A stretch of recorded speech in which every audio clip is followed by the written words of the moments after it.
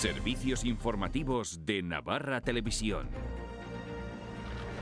El PSN iniciará la semana que viene una ronda de contactos con todos los grupos políticos del Parlamento, salvo con Bildu, con el fin de explorar y, en su caso, articular los mecanismos necesarios para un adelanto electoral en Navarra, que coincida con las europeas. El asunto lo acaba de dar a conocer mediante una nota de prensa el, partido tras esta ejecutiva. Esta mañana, de manera unánime, han ratificado las conclusiones de la comisión de investigación.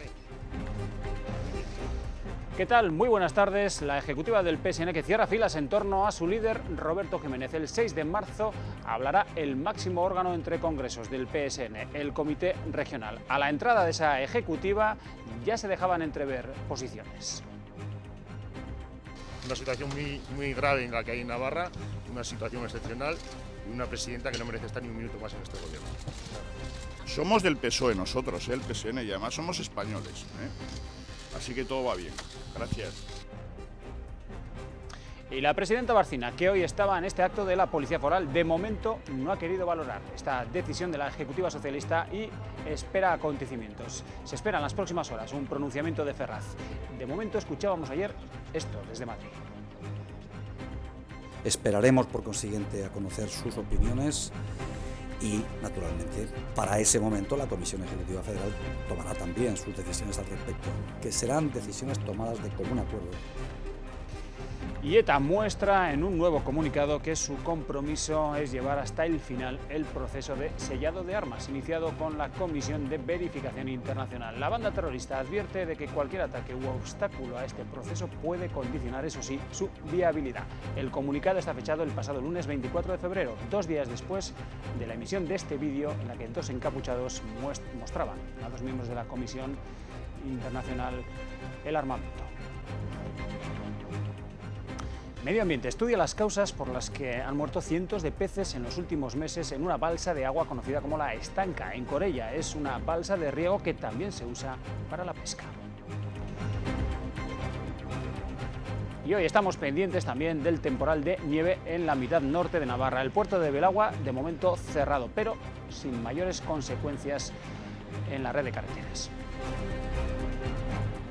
Y en apenas tres horas y media, Osasuna juega un importante partido en Valencia. Los rojillos se ven las caras con el Levante en un duelo entre dos equipos enrachados. Si Osasuna ha sumado dos victorias y un empate en los tres partidos que lleva sin encajar goles, el Levante acumula siete partidos sin conocer la derrota.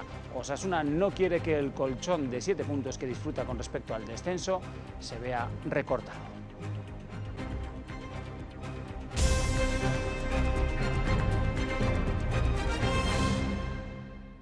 El Partido Socialista de Navarra acaba de hacer público un comunicado con la decisión que de manera unánime ha tomado su ejecutiva, reunida en la mañana de hoy. Ratifica todas y cada una de las conclusiones de la Comisión de Investigación del Parlamento, así como sus recomendaciones. Exige a la presidenta del Gobierno, Yolanda Barcina, que dimita y que convoque de manera inmediata elecciones al Parlamento de Navarra, haciéndolas coincidir, dicen, con las próximas europeas del 25 de mayo. El PSN ha señalado que va a iniciar durante la próxima semana una ronda de contactos con el conjunto de las fuerzas políticas del arco parlamentario, de menor a mayor, ha señalado, y a excepción de Bildu, con el fin de explorar y, en su caso articular, dicen, los mecanismos necesarios para que la ciudadanía pueda expresarse libremente. También celebrará el próximo 6 de marzo una reunión de su comité regional donde someterán a votación lo decidido esta mañana. Comunicado que ha saltado hace unos instantes a la opinión pública. Una ejecutiva que comenzaba a las 10 de la mañana, donde ya se dejaban entrever posiciones a las puertas de la sede del Paseo de Sarasate. La expectación era máxima desde primera hora de la mañana a las puertas de la sede central del PSN en el Paseo de Sarasate de Pamplona. Uno a uno llegaban los miembros de la ejecutiva. Dentro ha sido el más madrugador, esperaba el secretario general Roberto Jiménez. A las puertas de la sede los medios se arremolinan en torno al portavoz socialista Juan José Lizarbe, quien ha presidido la comisión de investigación parlamentaria. Primero, palabras para romper la nube de periodistas. Veo el tema muy bien, pero está lloviendo de una forma, las cámaras se van a estropear, el micrófono también. Este es verde además. A ver, ah. Y después, la esperada pregunta. ¿Confían en el apoyo de Madrid para la moción de censura? Somos del PSOE nosotros, ¿eh? el PSN, y además somos españoles. ¿eh? Así que todo va bien. Gracias. Poco después llegaba Santos Cerdán, secretario de organización del PSN y mano derecha de Jiménez. Una situación muy, muy grave en la que hay en Navarra, una situación excepcional y una presidenta que no merece estar ni un minuto más en este gobierno. Momentos previos a una de las reuniones más decisivas de la ejecutiva de los socialistas navarros. De momento, la presidenta Barcina no se pronuncia hasta esperar qué se concreta entre Ferraz y Madrid y de momento Barcina que tampoco pues, ha hecho declaraciones en espera, como decimos, de lo que ocurra en las próximas horas. Eh, el Partido Socialista, en principio, se mantendría con la postura que escuchábamos y que escucharemos de Valeriano Gómez de entablar conversaciones con el Partido Socialista de Navarra. Eh, la presidenta del Gobierno ayer, tras conocerse la resolución que se adoptaba en la Comisión de Investigación, daba una rueda de prensa donde se mostraba firme en su intención de no dimitir, como se le pedía en las resoluciones. No voy a dimitir porque yo no voy a seguir la hoja de ruta de Bildu. Y aquel que siga la hoja de ruta que está marcando Bildu para nuestra comunidad y se deje arrastrar por ellos, que lo explique. Esa es la respuesta que da la presidenta a la petición del Parlamento. Dice que su gobierno no comparte las conclusiones de la comisión y que no se ha demostrado ni corrupción ni injerencias. Ahora, a ejercer tus competencias se llama injerencias. Y a solicitar datos que nunca se han pedido, pues parece ser que esto es un problema y es motivo para una moción de censura. De nada han servido los informes jurídicos, de nada han servido los testimonios, como decía, de los técnicos del mayor rango y de todos, además, que han acudido a esta comisión de investigación. Tras concluir la comisión, comisión de investigación o comisión trampa, toda Navarra sabe la verdad. Y hace un llamamiento al PSOE. El señor Rubalcaba y la señora Valenciano han dicho que ellos no iban a traspasar la línea de pactar con Bildu. Eso sí, dijeron que si había corrupción, pues esa no se iba a tapar por no llegar a un acuerdo con Bildu. Esa ecuación ya está despejada a día de hoy. No hay corrupción. Luego, confío en ellos y confío en la palabra que han dado. Barcina da por hecho que se presentará una moción que pudiera dar paso a unas elecciones, pero no desvela si encabezará la lista de su partido. Y si hay elecciones, pues miren, en Unión del Pueblo Navarro las decisiones las tomamos en el seno de nuestro partido y yo no soy UPN.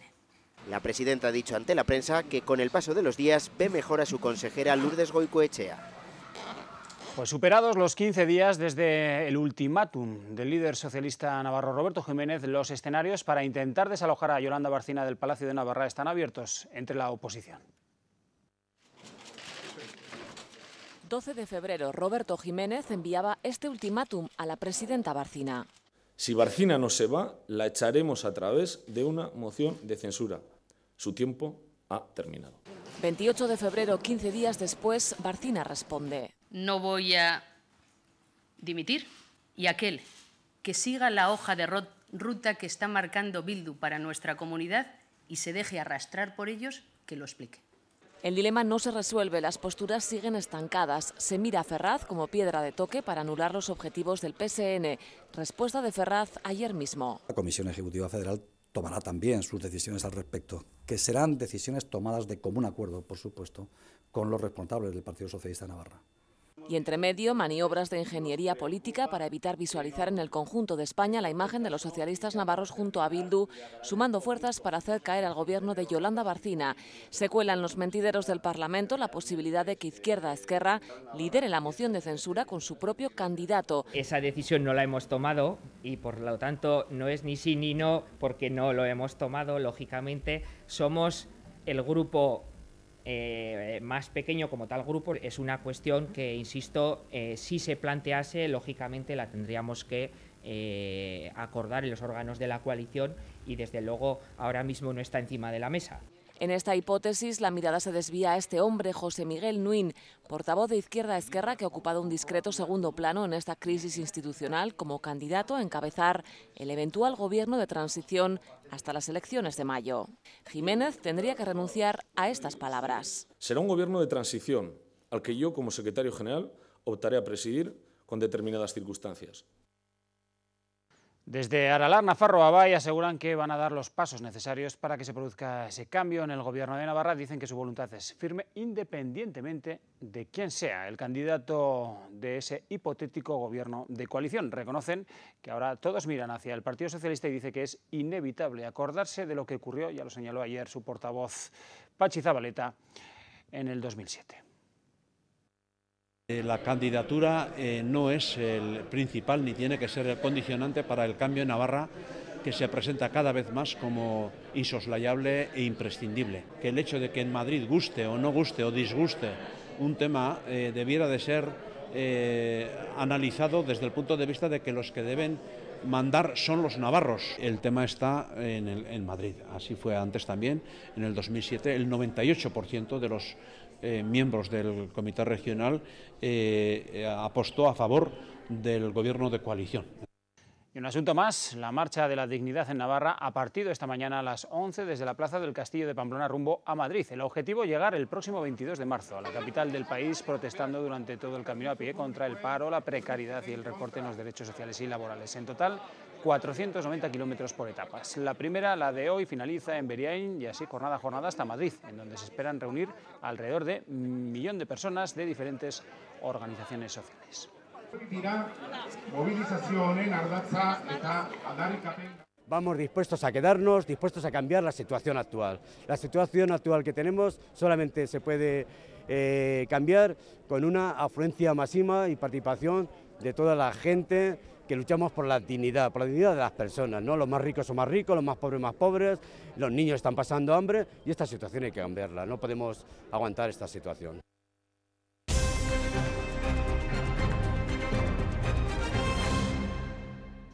ETA afirma en un comunicado fechado el pasado 24 de febrero que la decisión de emprender el sellado e inventariado de sus arsenales tal como anunció la Comisión de Verificación, es consecuencia del final de la lucha armada. En el texto hecho público esta mañana, ETA señala que con ese sellado se pretende garantizar que sus armas, explosivos y dispositivos estén fuera de uso y quiere ofrecer seguridad, dice el texto, a la ciudadanía y al comunicado internacional a la comunidad internacional.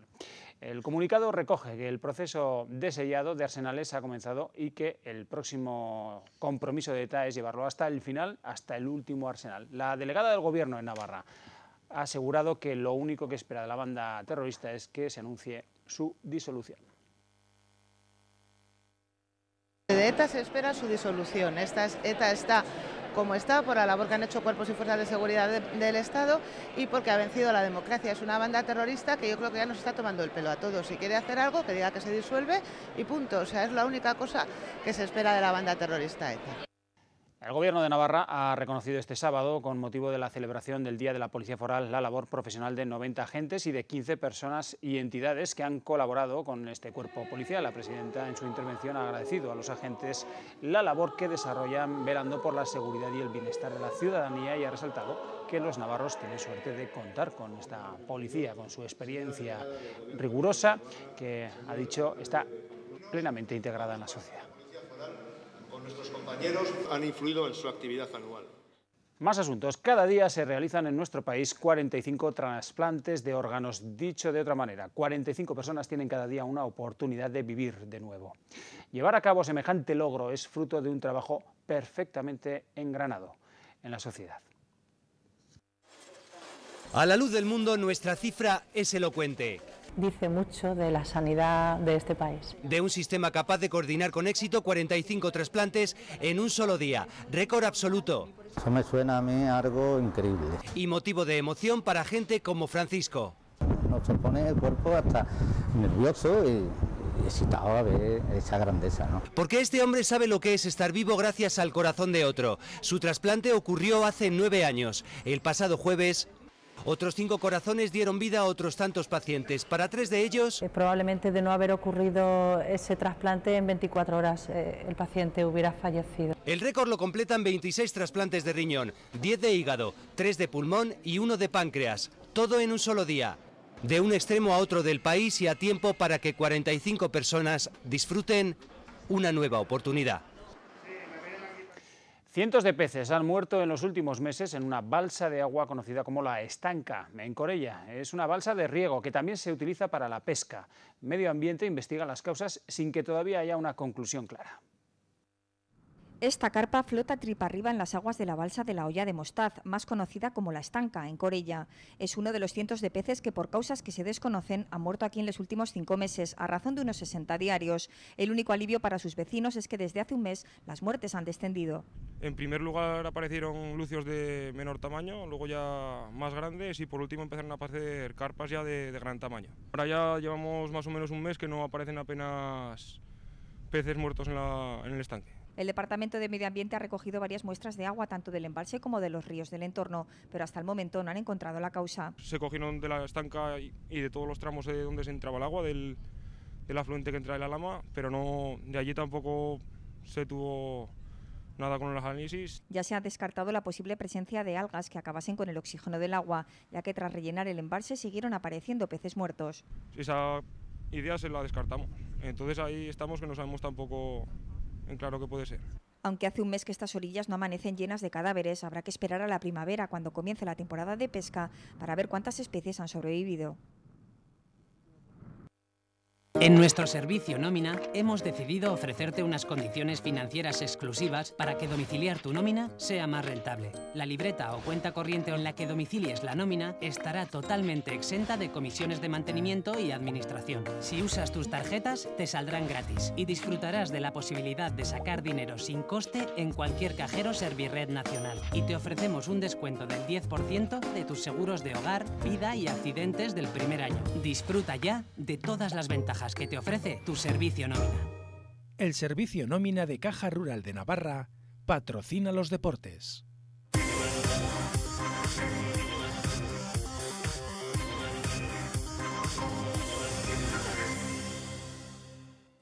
Osasuna afronta el partido de esta tarde contra el Levante con la moral alta y con la idea de seguir sumando para consolidarse en la zona media de la clasificación. Los rojillos visitan a un rival en una buena racha de resultados. No pierde desde hace siete jornadas.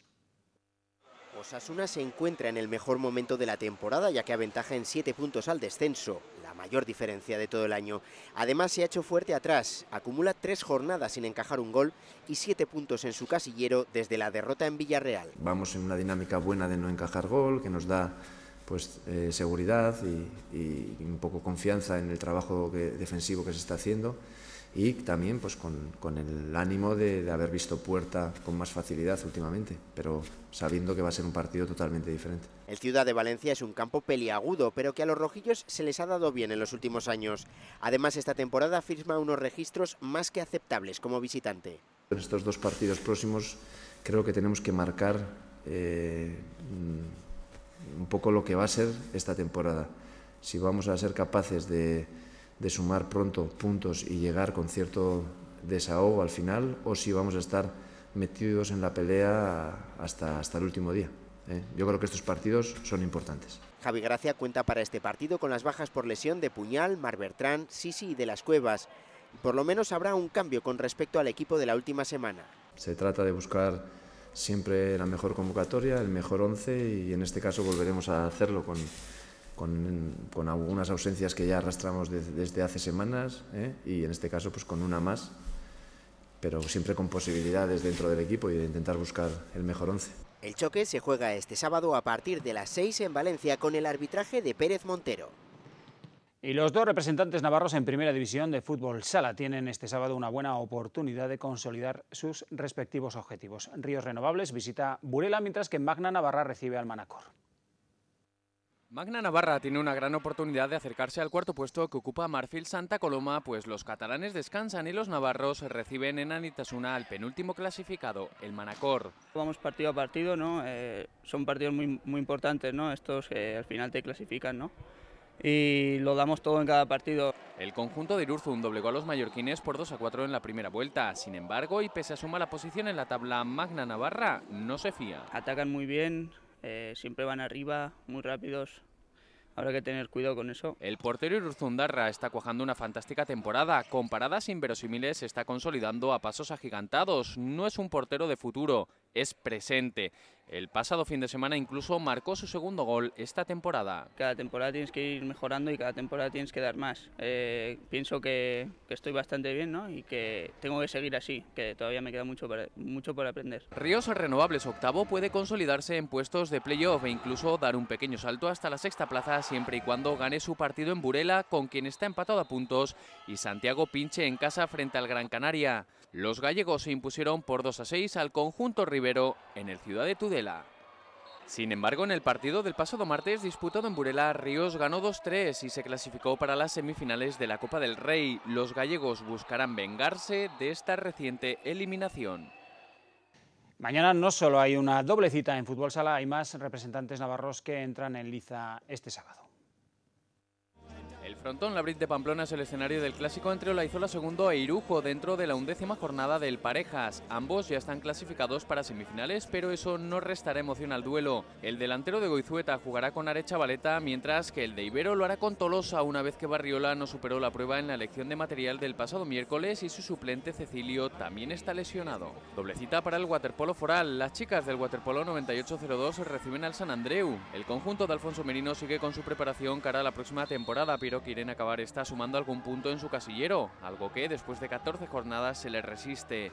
Las catalanas no son el rival más indicado para visitar en estas condiciones Gelbenzu, pues son cuartas a dos puntos de las terceras y con dos de ventaja sobre las quintas, con lo que no se permitirán un tropiezo este sábado a partir de las 5 de la tarde. A las 7 y media el Club Waterpolo Navarra recibe en Amaya el Concepción madrileño. Los pupilos de Manel Silvestre quieren quitarse el peso de la mala racha que acumulan en Liga. Son seis las derrotas consecutivas que han sufrido. Buena oportunidad para romper esa dinámica, pues el Concepción es penúltimo con solo una victoria y dos empates en 15 partidos. Ninguno de esos puntos ha sido a domicilio, donde acumula siete derrotas en siete encuentros. Un partido correspondiente a la decimocuarta jornada de la División de Honor que fue retrasado en su día pues se tenía que haber disputado en febrero. El GH Ledernet juega a las 7 de la tarde en Menorca ante un rival que le trae malos recuerdos. El Valeriano Ayes fue el equipo que eliminó a las Navarras de forma inesperada de la Copa de la Reina de Logroño hace justo un mes. El actual entrenador de las chicas del volei, Chema Rodríguez, dirigió a este equipo durante dos campañas y lo hizo campeón de liga algo que pretende repetir con el GH. Las verdes ganaron por 3 sets a 1 en el partido de la primera vuelta. La actual Urbina recibe el Roldán murciano en el Polideportivo Ezcaba a las 7 y media de la tarde. Las rojas afrontan un complicado choque frente al quinto clasificado. La situación del conjunto de Leandro Fernández no es cómoda, pues pese a ocupar el último puesto que da la salvación, están con los mismos puntos que las antepenúltimas Soto del Real y las penúltimas El Ferrol, ambas ya en descenso. Y mañana domingo será el turno del Helvetia Anaitasuna. El conjunto de Aitor Echaburu recibe en la Catedral al Puerto Sagunto, cuarto clasificado por la cola de la Sobal. Tras perder en Gijón, los navarros buscan retornar a la senda del triunfo tras perder la oportunidad de arrebatar al Guadalajara, la quinta plaza. Un partido, el de mañana a las doce y media en Anaitasuna, situado justo en medio de la eliminatoria, coopera frente al Aragón. El miércoles, el conjunto del barrio de San Juan afrontará un choque histórico en el que se jugará su clasificación para la final a 4. Y gran paso atrás del Planasa en sus aspiraciones a salvarse esta temporada. Los navarros volvieron a dar muestras de sus carencias, perdiendo frente al colista el Barcelona B. El conjunto de la MUA es el que ocupa esta posición en la actualidad. Muy tocado, casi hundido. Así quedó Planasa tras la derrota frente al Barça B. Los de Sergio Lamúa recibieron su enésimo mazazo, tal vez esté el más fuerte tras perder por 72 a 77. Los navarros son los nuevos colistas tras intercambiar posiciones con su rival de esta vigésimo primera jornada. La permanencia, al menos deportiva, se antoja muy complicada vista la nueva exhibición de un equipo desdibujado. Entró bien en el partido un Planasa que sabía lo que había en juego. Las pocas opciones de salvarse pasaban por ganar al filial Blaugrana, máximo candidato junto a ellos a ocupar los dos puestos de descenso, como de hecho en la actualidad así marchan. Los locales terminaron cuatro arriba en el primer cuarto, misma diferencia que mantuvieron hasta el descanso tras el empate en el segundo. Los catalanes recortaron mínimamente la desventaja en el tercer cuarto. Cristian Díaz, que acabó con 21 puntos y 29 de valoración, intentó sostener al equipo, pero no fue suficiente. En esos momentos comenzaron los despropósitos de un Planasa que se fue viniendo abajo conforme su pequeña ventaja se iba recortando. Los navarros sucumbieron por culpa de un mal último cuarto en donde el Barça sacó 7 de diferencia y le dio la vuelta al partido imponiéndose por 5 puntos, cediéndole la plaza de colista a Planasa y cundiendo el desánimo entre el aficionado en Anaitasuna. Además de Díaz, Joaquín Bonome con 18 puntos y 21 de valoración y David Mesa con 14 y 10 fueron de lo poco salvable. Lo mejor de la jornada, que el Ourense, el equipo que ocupa la primera plaza de la salvación, consumó su quinta derrota consecutiva y está solo un partido.